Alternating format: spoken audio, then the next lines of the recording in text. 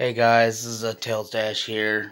Um, so I know that some of my subscribers are a fan of Neilogical, but unfortunately, the Neilogical YouTube channel has been hacked.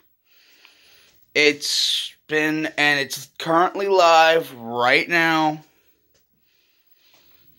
I just hope and pray that Neil gets his channel back. Because usually when as a subscriber to Neilogical, I literally watch any of his videos that he uploads. I haven't been watching much of it now because his channel's been hacked and I'm just a little worried about it. All the other big YouTubers said they would notify me of updates. UK Drifter said he would notify me of updates.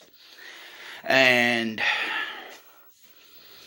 there hasn't been any. The only update that I've gotten was from Octo something, the create the of another group that I just got into called Octo's Garage. It was the username is Octo on Discord but, uh, I'm gonna be honest. I'm just gonna say this.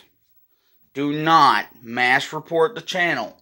Neil was in the process of getting it, everything situated for his channel. And if he tries, it will work.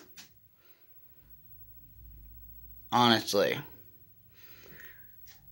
So, uh, don't mash report the channel and unsubscribe. Neil will be back with us shortly. Trying to get his channel back. He has contacted YouTube, the YouTube team on Twitter.